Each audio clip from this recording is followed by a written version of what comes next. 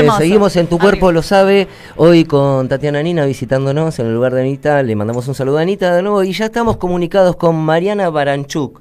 Eh, Mariana Baranchuk es, es conductora, tiene un programa en, este, en esta misma radio, los martes a las 10 de la noche, recién te, te estaba contando. Eh, ella es licenciada en Ciencias de la Comunicación y magíster en Comunicación y magíster o magíster, ¿cómo se dice? Magister, digo. Magister.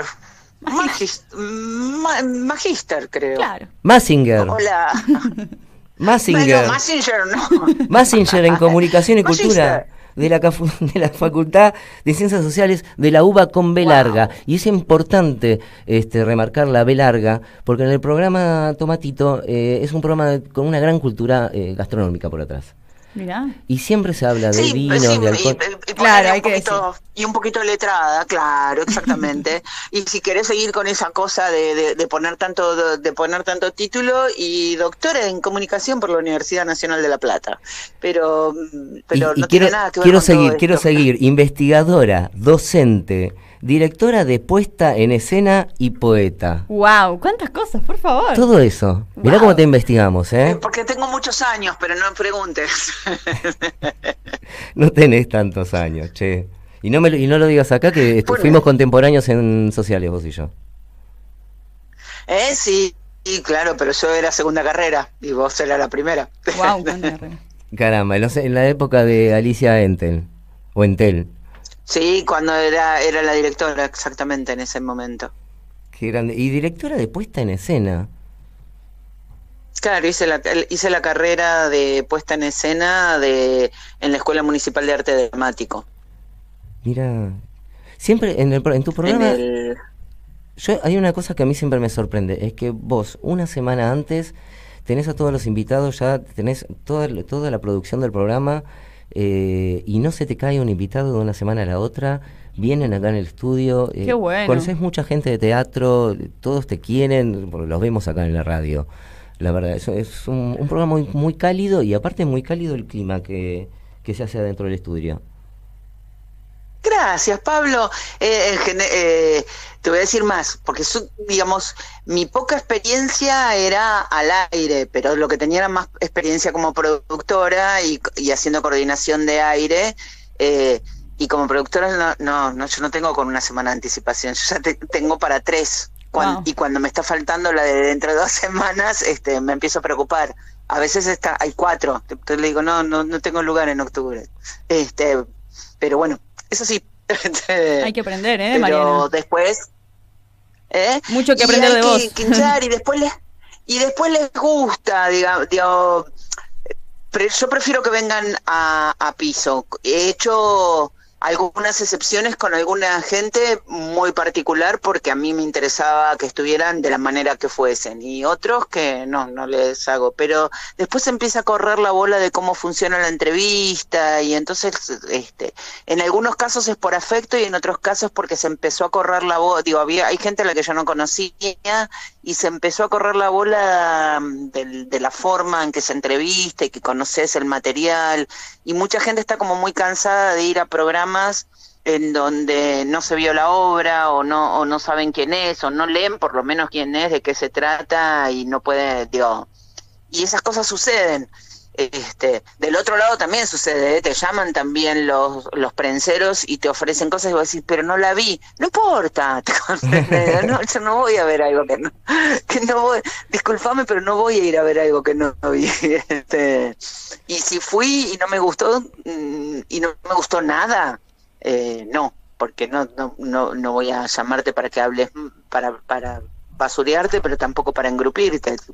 Igual no me pagan, así que hago lo que se me canta centralmente. Sabés que se nota mucho eso, la calidez en tu programa, ¿no? Que, que invitas a amigos y, y que si no son amigos, la verdad que yo me estoy enterando ahora, si hay gente que le invitaste por primera No, vez, sí. porque es un programa muy cálido.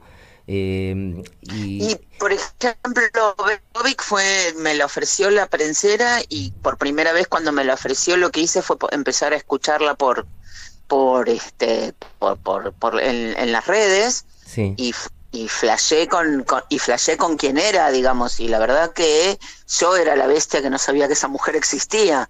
Este, y fue recálido el encuentro, digo, y nada, y cuando nos fuimos, el- su, su compañero es Darío Volonté, que sí sabía quién era, y yo decía, no puedo, te llevo hasta tu casa, y digo, no, no puedo creer. Fue increíble, increíble esa nota, sí. Otra que me acuerdo, y, y lo, me, acuerdo porque también me tocó personalmente, eh, fue con Ariel Prat, porque bueno, con Ariel nos conocemos también. Y, y Sí, fue como bueno, Ariel es un compañerazo. Y con Hernán Lucero también. Sí. Bueno, ¿Qué? y Hernán me, me hace el honor este de cantar en la presentación del libro el, el día lunes 9. Este, va a ser un par de temas y nada, es, es, es de amoroso nomás. Ahí- Este, ahí va, ¿por qué te que- La verdad que es un Por- e- del, de la gran puta. Digo, perdón por la palabra. No, está bien, acá se puede decir puta, se puede decir culo, recién estábamos justamente hablando de eso. Eh, te nombré por eso, Hernán Lucero, porque eh, vas, a, vas a presentar un libro, un libro de poemas, se llama Todos mis muertos y otras páginas para seguir viviendo. Esto es el próximo 9 de octubre a las 19 horas en la Casa de la Provincia de Buenos Aires, Callaos 237, Cava. Eh, y va a estar presente María Fiorentino, Patricia Zángano, eh, Zángaro, perdón, eh, y Manolo Longueira, y va a haber música de Hernán Lucero. Así, to- todo eso, y y, y un vinito para convidar a, a quienes vengan. El vinito te lo convido, el libro te lo vendo, sería. Buenísimo. Muy bueno. Buenísimo, es como una canción de los Tweets, Sí, me resirve esa, ese Claro. bueno, vamos. Este, Vamos. Vamos no, estaría buenísimo, eh, estaría buenísimo que vengan y va a haber otras sorpresitas porque hay algunos eh, gente muy querida en el exterior o que iba a estar en la mesa, pero los lunes eh, muchos actores los lunes dan clases, este, pero como en la Casa de la Cultura hay pantalla, eh, va a haber algunas sorpresitas desde eh, desde Quilmes, pero también desde Estados Unidos y desde Perú, de gente muy querida, este, que van a- van a hacer una lectura desde allá y van a mandar el videíto, así que también iremos eso, y bueno, y mis poemas en la, en la voz de la negra Fiorentino, este, son Ah, un lujo, un lujo que voy a darme. Divina, Este, divina. Bueno, y a Patricia Zangaro la conocieron por teléfono, que salió el otro día al aire, Sí. es una dramaturga muy reconocida.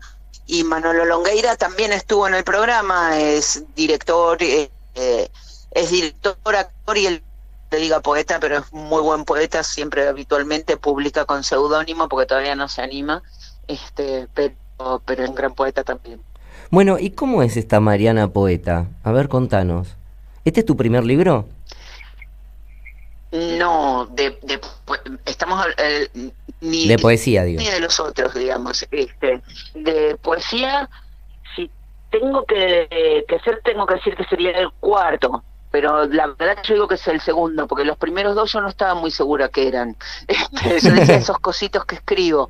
Este, los llamaba los cositos que escribo, porque además era una época que producía mucho y publicaba todos los días en las redes y después alguien, y, encontré editor por las redes, digamos. Eh, y esos fueron los dos primeros libros. Uno se llamaba eh, Tips de Chicas y después vino este Esto no es un tip de chicas no tan volumen 2. Este, y esos fueron contextos intrusos. Y el anterior es de 2017, que es Haikus criollos y, y otro y otras este, ¿cómo era? Haikus criollos y, y otras palabras para que se mantenga la primavera o algo así, se me acaba de ir de la cabeza el nombre de mi libro, soy una bestia. Este y, y ese libro me dio muchísimas satisfacciones, porque digo, lo presentamos en diciembre del 17, en el 18 lo estaba presentando en Cuba y, y estaba al- el día 30 de diciembre estaba en la en, en la, en la Biblioteca Nacional deja para Ay, se salió una gira en España y en Italia, bueno, na- nada, es, es- es, eh, ese, ese libro lo disfruté muchísimo. Y ahora este, el eh, eh, Todos mis muertos y otras palabras para seguir viviendo, este, esperemos que corra, con que corra la mitad de la suerte que el anterior, ya estaría muy contento. Este, Sí, así, qué lindo fin de año y por tuviste. supuesto muy por fuera de lo que... eh, Ay, se nos ¿qué entró... se Pablo, no te escuché. Eh, se nos entrecorta un poco, no sé si te estás moviendo. No, yo estoy quietísima. Se nos entrecorta un poco la comunicación, por eso era... lo- le- Bueno, con- a ver, contanos. Yo te digo si no. ¿Qué querés que te cuente Estábamos exactamente? hablando de No sé este qué es lo- último libro, que si recorre la mitad del camino que el anterior en experiencia ya es un montón y nosotros decíamos qué buen fin de año te está tocando ya, ¿no? Con el libro. Ah, eso, eh, eh, eh, eso espero, porque, porque, algu- porque parte de los muertos son. Entonces, eh, nada, estaba pensando, eh, eh, qué sé yo, no sé si quieren que les Me- lea, me eh, gustó- no se me había ocurrido hasta recién. Pero me- me- me- esto que dijiste, parte de los muertos, ¿cómo? Parte de mi- los muertos son mis muertos, este, así que el, digo nada, y otros son colectivos y otros están también ligados a la pandemia. Esa escritura de eh, como cuatro años, digamos, cuando cerré el otro, eh, seguí escribiendo y esto es una selección de, de, de todo, de todo eso. Ajá. ¿Y qué Eh, son? ¿Qué, es- qué es- y qué es- entonces qué es- son- qué significa todos mis muertos?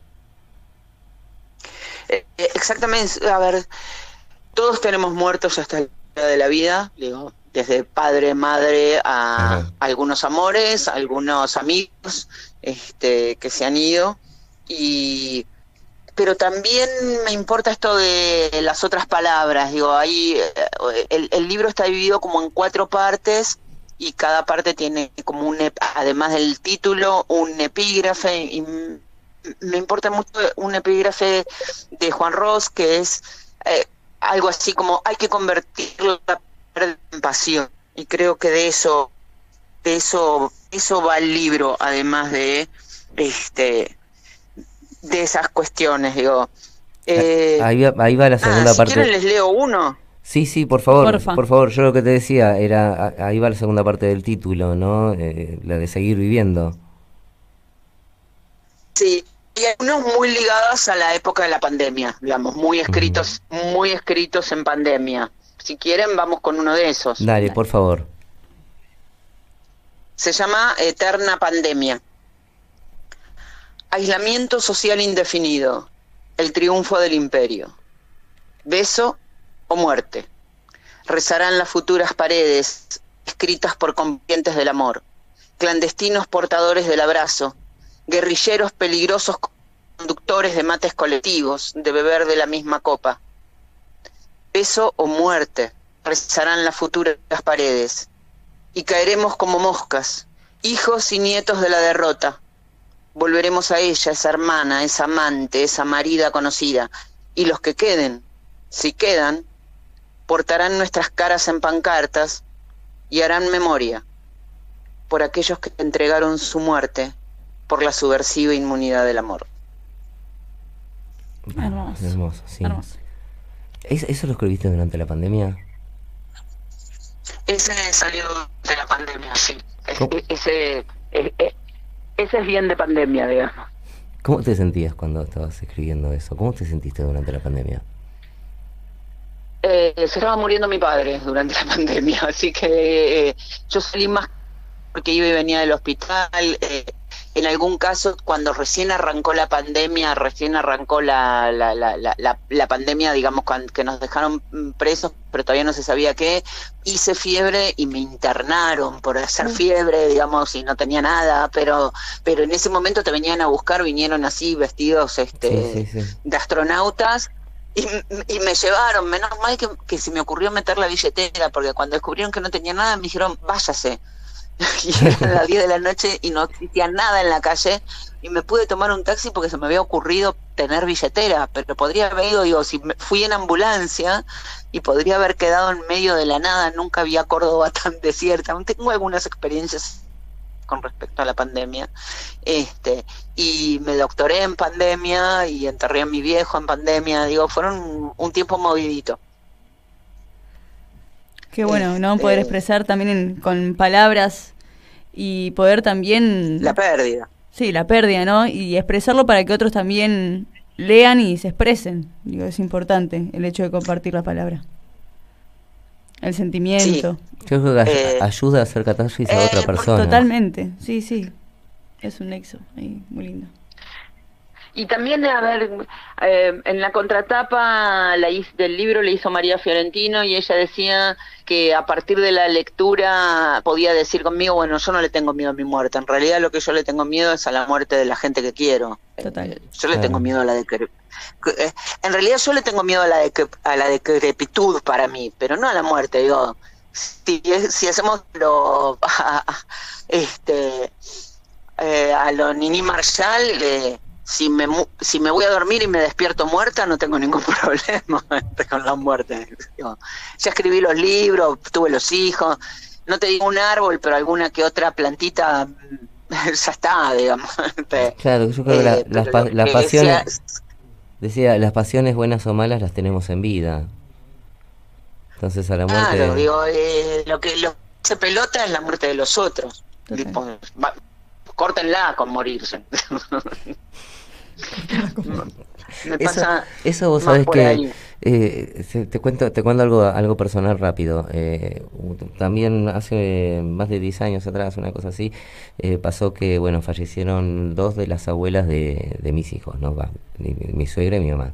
Y al mismo tiempo también en, en ese interín también falleció, que bueno, la- es otro tipo de relación, pero falle- falleció la mascota de la casa, que era un gato que los chicos conocían desde que nacieron Uh, viste, que estaba en la casa desde Sí, antes, claro.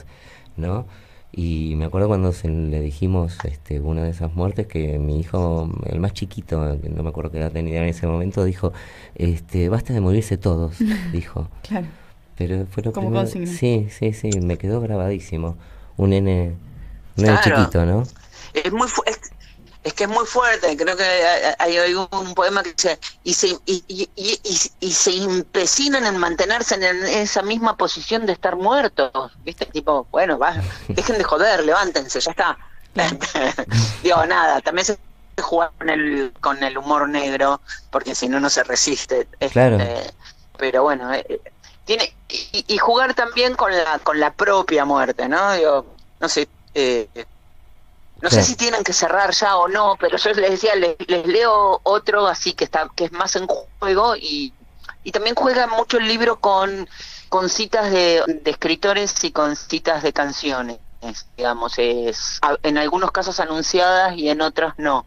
Y eso también me parece que da como una vitalidad y como un metatexto que va por detrás, si no te quedas muy enganchado y pegado en los muertos hasta la gente que reconoce de qué muerto estoy hablando, entonces, pero Sí, Pero a- bueno, a, hay mí me, a- a mí me gustan las citas y las referencias eh, a, a- a otros autores u otros libros eh, que me parecen que son como cameos en, en las producciones, ¿no? Como que se cruza alguien y como que hay a un, un guiño un guiño en común que, que nos relaciona con la persona que metió, ¿no? Con el autor. Eh, ¿Podemos hacer eso? ¿Te parece? Entonces nos iríamos a, a un corte escuchando eh, un poema tuyo. Bueno, este se llama Blues No. Muera, pongan blues. Pongan esas canciones viejas de que me sé la letra, las olvidadas en un rincón de la memoria. Canten por mí una que sepamos todos. Canten esa para aullar subidos a la silla con los dos dedos en B. Canten las antiguas que cantaba mi madre.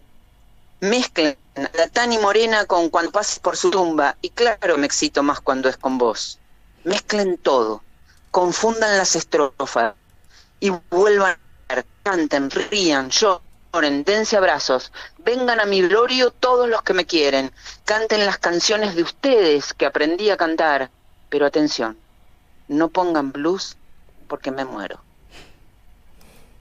Muchas gracias, Mariana. Gracias. No, muchísimas gracias a ustedes y por supuesto a los dos los estoy esperando el 9. En Sí, la sí, lunes, después del programa nuestro. Aparte- 29 ahora. Dijo la palabra mágica que hay vino, aparte. Listo, vino y poesía, ¿qué más? Obvio. Y la música de Hernán Bueno, Lucero. mira, Perfecto. además vos sabés que yo no te voy a llevar un mal vino. Es de Damajuana, pero es la Iride y está buenísimo. La Iride de Ma- Majuana se la recontrabanca. Y, chino- y estoy haciéndole promoción sin que me habiendo comprado habiendo comprado las Damajuanas. Como ves, soy una productora de 15 días antes ya tengo las Damajuanas en mi casa. Obviamente. Les mando un abrazo y muchísimas gracias por, eh, por, por este espacio. No, gracias a vos. Un abrazo y un beso, che. Chau, chau, nos vemos. Chao. Hasta luego. Recordando tu expresión, vuelvo a desear